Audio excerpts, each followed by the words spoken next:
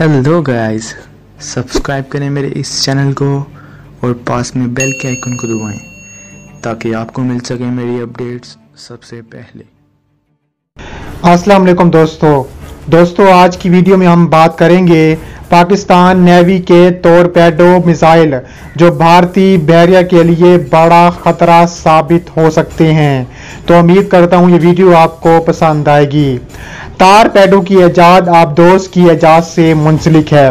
سب سے پہلے، پہلی جنگ عظیم میں پانی کے اندر چلنے والی چھوٹی آبدوزوں میں اس کا استعمال ہوا، جبکہ دوسری جنگ عظیم میں انہیں دیو حاکل جسامت کا حامل بنا دیا گیا۔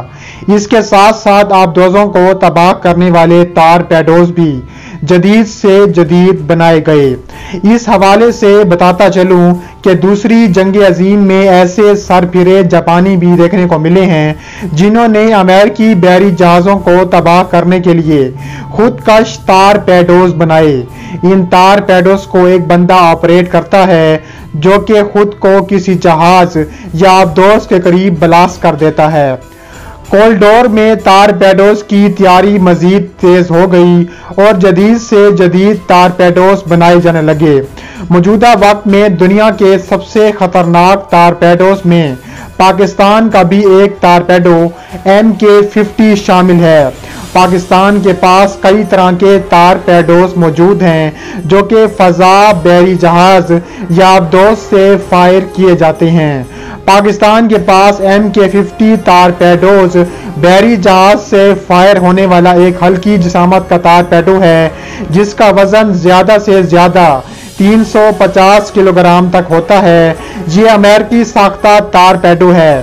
دراصل یہ torpedo M K forty six کی جدید قسم ہے، جبکہ ایم کے ففٹی کی جدید قسم۔ ایم کے ففٹی فور تار پیڈو کے نام سے جانی جاتی ہے۔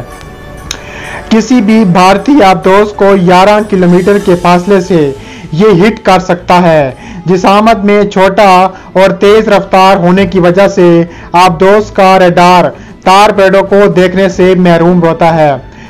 ایک امریکی نیوی کپتان کا کہنا ہے کہ بحری جہاز کی طرف داغا جانے والا ہیوی تار پیڈو بھی کلوز رینج سے تباہ کیا جا سکتا ہے۔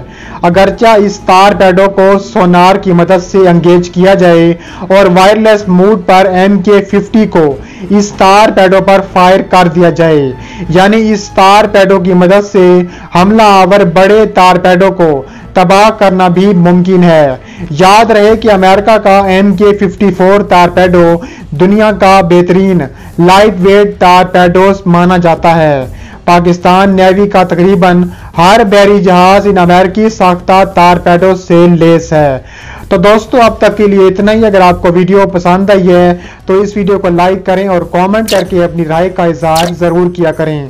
ملتے ہیں نیکسٹ ویڈیو میں۔ اللہ حافظ۔